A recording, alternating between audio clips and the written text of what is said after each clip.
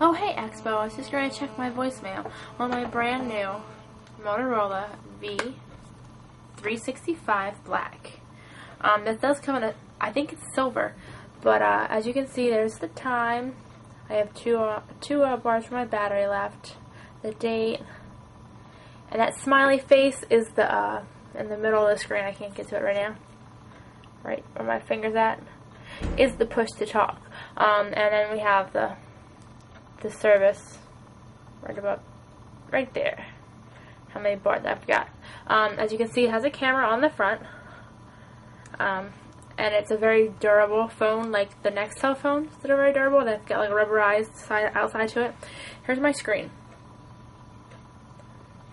It's a red satin-looking screen. Um, it has Java on it, and it's got mobile email and a bunch of other things, but it's got a camera on it. It's really cool.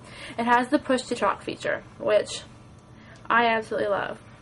The only person that I have on push to talk is my husband Steve. Um, if I can get you to see that.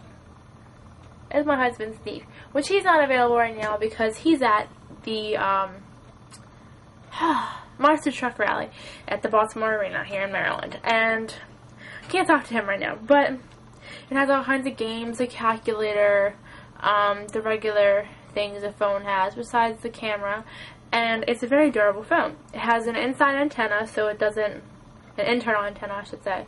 So you don't have any extra things hanging out. Here's the battery cover. It just slides right off. Real easy, and it's it's really cool.